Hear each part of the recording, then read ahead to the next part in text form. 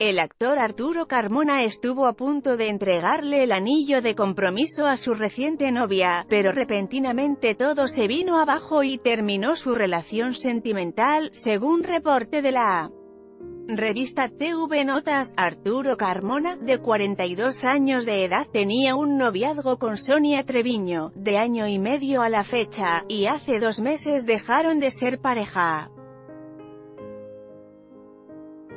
Él ya iba a entregarle el anillo de compromiso. Estaba por comprar el anillo de compromiso, pero mejor ya no digo nada porque si no se va a descubrir todo. Por el momento ni siquiera tenemos comunicación, estamos cada quien en sus cosas laborales, en sus cosas personales. Camona no descarta la reconciliación con Sonia.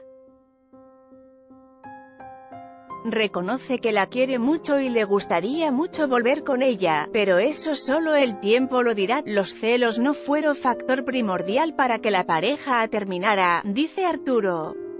No, en cada relación siempre debe de existir la confianza, esa comunicación que merece una relación para poder ser madura, tener cimientos sólidos, entonces no debe de existir eso. Arturo Carmona ha participado en telenovelas como Destilando Amor, La Verdad Oculta, Rafaela, La Tempestad, y Caer en Tentación, más recientemente. En esta nota,